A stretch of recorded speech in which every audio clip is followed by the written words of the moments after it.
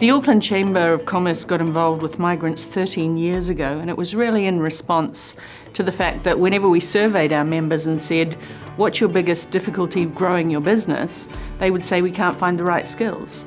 We know our employers want great job seekers, and we know there are great job seekers out there, but their barriers are they may not have recent New Zealand work experience or and they don't have the networks. As soon as the candidates um, come into New Zealand, they're eligible to attend a new Kiwi Career Success Workshop, which is a two and a half day, no cost course that focuses on the culture of New Zealand business, um, looking at their CV and cover letters, interview preparation skills, and job searching skills. We see about 400 people through that program each year, so 83% are walking into employment within uh, the reporting period. So, three to four mo- months, most of those candidates are getting into employment and they're work- walking into really good jobs.